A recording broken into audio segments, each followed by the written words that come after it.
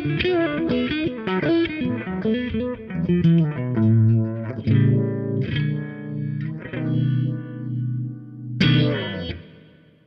I'm Jamie from Guitarist, and today we've got a really cool amp from PRS to show you. Now, a few years ago, PRS brought out HDRX, uh, their HDRX amplifier, which was based on a super lead, a Marshall super lead head that purportedly was used by Hendrix at Woodstock. They turned it into um, a high high end amp um, produced by the Core Line production facility in Maryland. And um, it was a very cool thing. Not everyone could afford it though, because uh, it was um, a, a, premium amplifier. Now they've brought out what we have here today, which is the HDRX 20. It's made in Indonesia, much like uh, PRS's SE line of electrics. And um, really this is a, a, smaller in wattage version of those um, core line HDRX heads. So think of this as a, uh, a kind of mini plexi um, made by PRS in Indonesia. And uh, we're going to walk you through some of the details today and show you how it sounds. Okay, so the best way to think of this amp is as um, like a sort of mini plexi, if you like. Um, in the past, you could use a little jumper lead to um, join the two channels um, of the of a Marshall plexi together to kind of get uh, a, best of both worlds sound. This kind of includes that jumper lead uh, connection between the two channels as default inside the amp, but it gives you control over the volume of the two sides, if you like, the treble side and the bass side here. So these two dials here, these two knobs, let you um, dial in the precise amount of each channel that you want to hear because it's they're two channels running in parallel. Aside from that, you have a global three band EQ here. And to set the overall level, you have a master volume. So if you like, you kind of set the blend you want with these, uh, the, the, the channel controls, the volume controls for each channel, treble and bass, get the blend you want, use the master volume to set the overall level, and then you can use this global EQ to sort of fine tune things further. However, that's not where the story stops because as a lot of people who've used Plexis uh, know, getting that treble right in the Goldilocks sweet spot is the most important thing because it can be quite savage and PRS have cleverly given us um, two more extra tools to kind of dial in that really sweet, rich uh, tone that you would want from a, a Plexi style amp. The first is this upper mid boost switch here, which operates a little bit like a treble booster would have done, you know, in the six, late 60s it's a bit of a misnomer treble treble booster because really what you're doing is lifting some of those upper mids to get that that sweet cutting but um, warm uh, lead tone. So that gives you a little bit of a lift in upper mids. And this is a straight bright switch here. So if you're not getting enough treble, maybe you're using some quite dark humbuckers, again, you can use this to just take things into that really um, sharp edged uh, plexi style sound.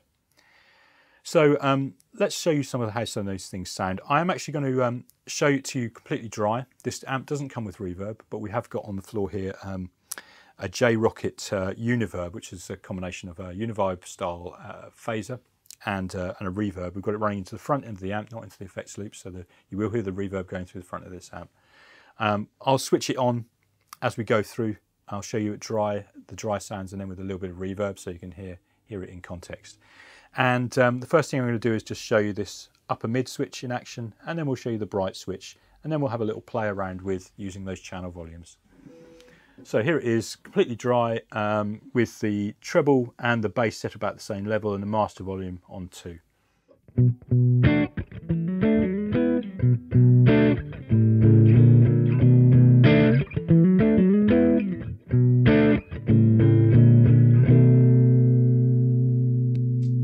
Little bit of reverb.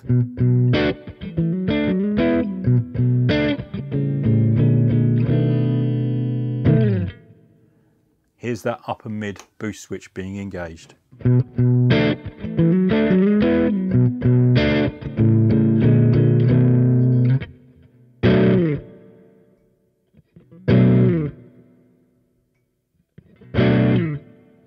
Okay, and I'm just going to take the reverb away there so you can hear it completely without anything else um, driving it.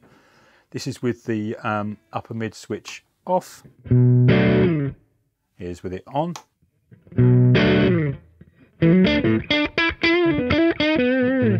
Just puts a little bit of hair on it. It's got that, that nice aggressive late 60s kind of uh, sawtooth edge to it there. So let's switch that off there. Now I'm going to show you um, the effect of the bright switch. So here's it with the bright switch off and no reverb.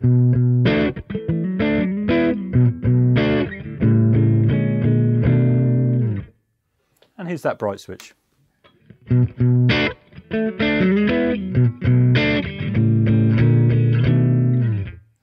Just chuck a bit of reverb on there so you can hear that in context. Here's the bright switch off. And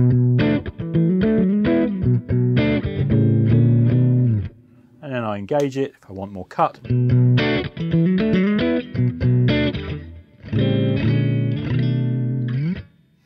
Okay, so um, let's switch those two, um, the bright and the upper mid switch off there, and we'll play a little bit around with the channel volume here so you can hear how those uh, interactive parallel um, channels um, affect each other. I'm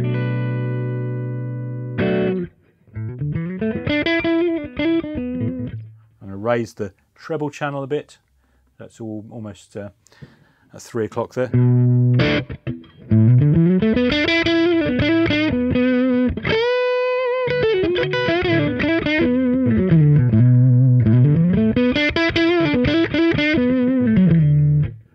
Raise the bass um, channel volume up to the same sort of level, we'll get an overall lift in, in gain and volume.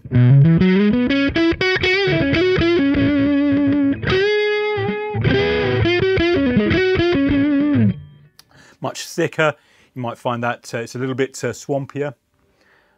Now if I take that down again to where it uh, was approximately and this one down, this time I'm going to turn the bass up alone to about the sort of three o'clock level.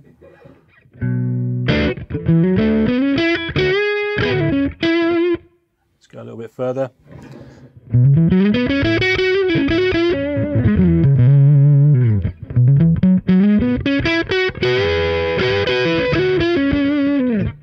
So again, you've got a lot of push in the bass there. That's helped by the closed back cab.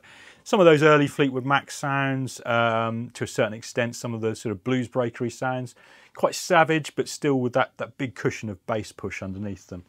And you can control all that with these two um, channel controls here. Um, it's quite a subtle thing. It's not like flipping between channels. It's um, it's more of a sort of blending thing. And um, uh, personally, I think it's really great. You can use it to dial in um, the sound to suit different guitars, different applications. Um, it's quite a cool feature, and it certainly updates the whole Plexi concept quite nicely.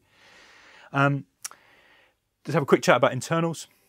It's a 20 watt amp. It uses Tungsol 5881 power valves uh, instead of EL34s. Uh, they're kind of like, you can think of them as like a sort of higher power version of 6L6s that are a little bit different in character. Marshall used them for a bit when 6L6s, sorry, EL34s became scarce in the 90s. Um, it's got uh, ECC83 valves or a high performance version of that um, called the ECC83S uh, and they are um, kind of like a high performance um, preamp valve. So again, it's got that Paul Reed Smith attention to um, making things just a little bit higher end, a little bit more boutique, a little bit more dialed in. Um, really like this package.